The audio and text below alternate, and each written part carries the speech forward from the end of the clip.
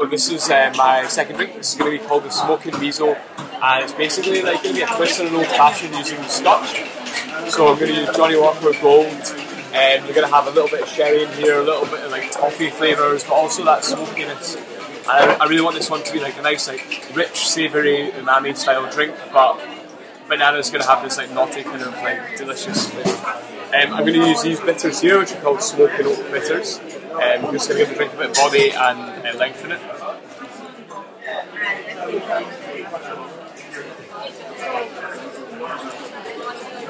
There you go. I'm going to use five mils of the creme de banane.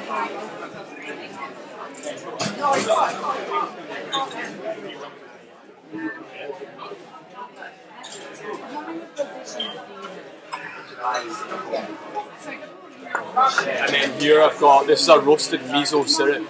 So we're using miso and then we've clarified it and we made it into a syrup. So it's going to add body. It's also going to add a little bit of savoury flavours. And again, 5 ml, so not too much.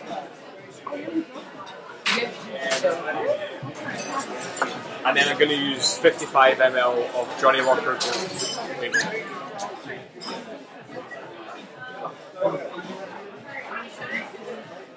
And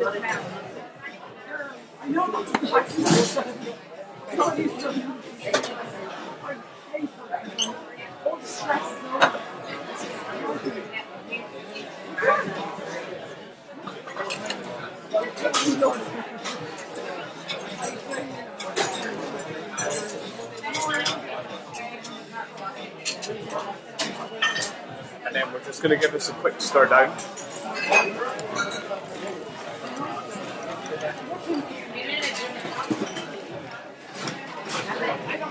I think savoury flavours like umami, banana, you know, and then the smoke, it all kind of works really well together. So you're gonna get hopefully this like lovely, rich whiskey.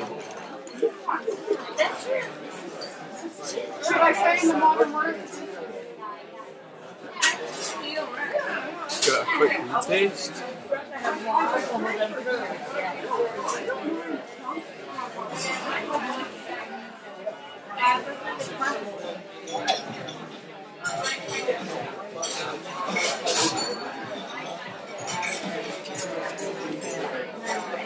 And then just a sharp pour over the ice cubes.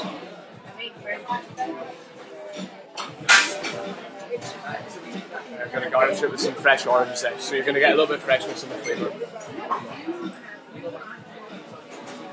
No, nothing happened. And